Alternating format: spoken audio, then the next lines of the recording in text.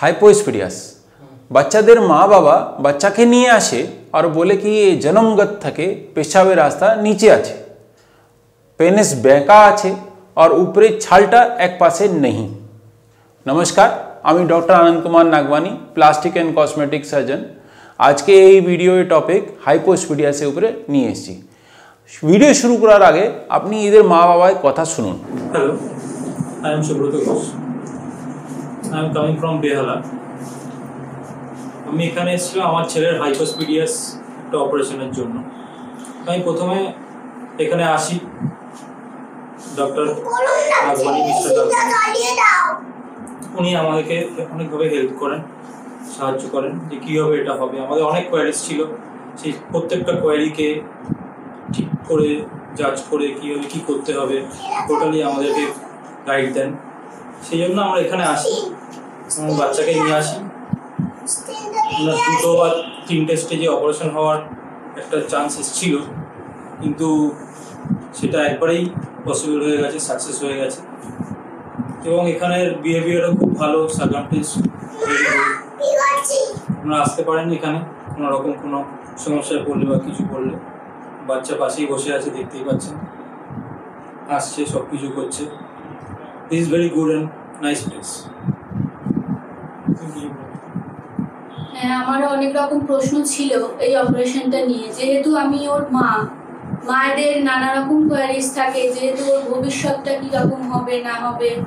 মানে স্যার একটা কথাই আমাদের বলেছিলেন এখানে আসতে যে, আপনারা যখন এখানে এসেছেন, আপনাদের সমস্ত চিন্তা আমার কাছে রেখে আপনারা বাড়ি যান। এই যে ভরসাটা, আমরা অনেক অনেক জায়গায় ঘুরেছি, কিন্তু এইখানে এসে এই যে ভরসাটা পেয়েছি এটাতেই আমাদের আর্ধেক মানে আমার ছেলে সুস্থ হয়ে গেছে। মানে সব থেকে বড় যেটা যে উনি একবারে আমার ছেলেকে সুস্থ করে দিয়েছেন। মানে ছোট বাচ্চা তো অনেক রকম প্রবলেম হতেই পারত, কিন্তু স্যার সত্যি ভগবান সত্যি ভগবান।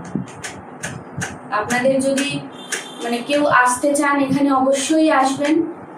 হয়তো অনেক রকমই প্রবলেম হতে পারে, কিন্তু স্যারের মতো মানুষ হন না। উনি উনি মানে কি বলব, কিছু না দেখলে ওনাকে বিশ্বাস করতে পারবেন না, স্যার, ম্যাডাম। মানে এতটাই ভালো মানুষ। আজকে ওনারা আছেন বলেই আমার ছেলেটা আজ সুস্থ হলো। আমি তো বলব মা এরা মা বাবা অনেক সমস্যা, অনেক কিছু মাথায় নিয়ে ওদের ভবিষ্যে ভেপে আমার কাছে নিয়ে এসেছিল। ওরা ভাবছিল কি এ রাস্তাটা ঠিক হবে কি না প্যানিস ব্যাকা ঠিক হবে কি না এই যে ছালটা আছে, এ তো দেখতে এইভাবে খুব খারাপ লাগছে, এটা ঠিক হবে কি হবে না? বলছিল, বাচ্চা বড় হলে কি ও স্বাভাবিক যে স্ত্রী পুরুষের মধ্যে সম্পর্ক থাকে, সেটা করতে পারবে কি পারবে না? বাচ্চা জন্ম দিতে পারবে কি পারবে না? প্রশ্ন অনেক কিছু। উত্তর খুবই সহজ আছে। এরা সার্জারি বাদে একবারে ভালো হয়ে যায়। মাথার থাকে যে পেনিসে মাথায় আছে যে উপরে টপ বলে, ওখান থেকে ওরা পেচ্ছাপ করে নর্মালভাবে সামনে দিকে ধার পড়ে, কাপড়াগুলো নোংরা হয় না, আর এদের ধারটা ভালো, মোটা থাকে। যে আগে সরু নিয়ে আসতো, ওদের কিন্তু মোটা হয়ে যায়।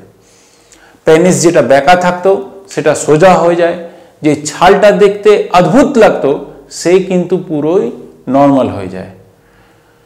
এই ছাড়া ওদের যে সমস্যা, কি এরা স্ত্রী পুরুষের মধ্যে যে সম্পর্ক করতে পারবে কি পারবে না? এরা হান্ড্রেড পারসেন্ট নর্মাল সম্পর্ক করতে পারবে। আর একটা যে প্রশ্ন, কি ওরা বাচ্চা কি জন্ম দিতে পারবে কি না? বাচ্চা জন্ম দেওয়ার পেনিস হচ্ছে একটা অঙ্গ কিন্তু যে আমাদের শুক্রাণু, যেকে স্পার্ম বলে, সেটা তৈয়ার হয় গলিয়ের মধ্যে, যেকে টেস্টিস বলে। টেস্টিস থাকে হয় এসে পেনিসের রাস্তায় ওটা বের হয় ওটা স্ত্রীর মধ্যে চলে যায় ওদের অন্ডাণুর সঙ্গে যুক্ত হয় বাচ্চায় জন্ম হয় ঈদের প্রসেসে কোনো সমস্যা আসে না এই প্রসেসে নিয়ে আপনাকে চিন্তা করতে হবে না এছাড়া হচ্ছে কি এদের টাইম কত লাগে সার্জারি সার্জারি টাইম এক থেকে দু ঘণ্টা এটা ডিপেন্ড করে আপনাদের যে বাচ্চায় হাইপোস্পিডিয়াস আছে সেটা কোন জায়গায় আছে? আমরা ক্লাসিফিকেশনে কথা বলি, এটা তিনটে জায়গায় হয়। একটা বলে প্রক্সিমাল হাইপোস্পিডিয়াস একটা বলে মিডিল হাইপোস্পিডিয়াস আর একটা ডিস্টিল পেনাইল হাইপোস্পিডিয়াস সত্তর ভাগ, সত্তর পার্সেন্ট ডিস্টিল পেনাইল হাইপোস্পিডিয়াস হয় यानी কি আমরা অন্য শব্দে বলব, কপালটা ভালো। ডিস্টিল পেনাইল হাইপোস্পিডিয়াস রেজাল্টটা ভালো সার্জারি এর টাইম ডিউরেশন কম লাগে।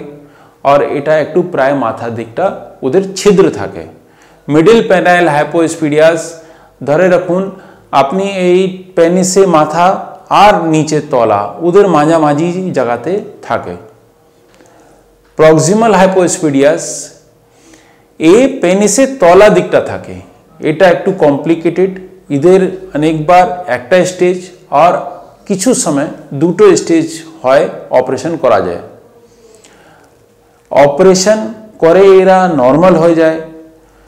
প্লাস এদের সেক্সুয়াল প্রবলেম কিছু আসে না। যদি আমরা কথা বলি কি এরা বাচ্চা কতদিন ঈদের মধ্যে অপারেশনে বাদে নালি থাকবে, সে প্রায় প্রায় ছ থেকে দশ দিন ডিপেন্ড করে কোন ক্লাসে আছে আর কি সার্জারি করা হয়েছে তার উপরে ডিপেন্ড করে রাখা হয়। বাচ্চাদের কোনো ব্যথা হবে কি হবে না? এটা বড় প্রশ্ন ছিল। কিন্তু আমরা যা ওষুধ দিয়ে রাখি, আমরা যা দেখেছি এত বছরের মধ্যে আমাকে প্রায় প্রায় পনেরো বছরের উপরে হয়ে গেছে এই সার্জারি করতে।